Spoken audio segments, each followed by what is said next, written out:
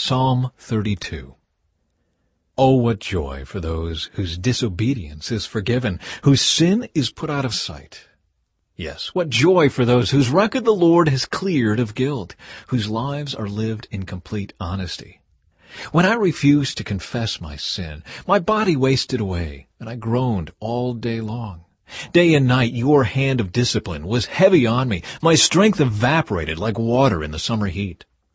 Finally, I confessed all my sins to you and stopped trying to hide my guilt. I said to myself, I will confess my rebellion to the Lord, and you forgave me. All my guilt is gone.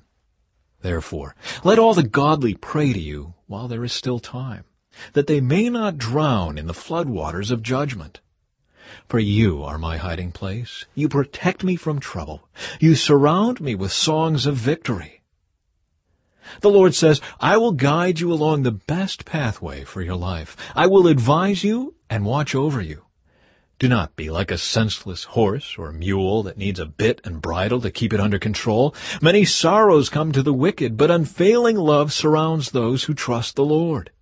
So rejoice in the Lord and be glad, all you who obey him. Shout for joy, all you whose hearts are pure.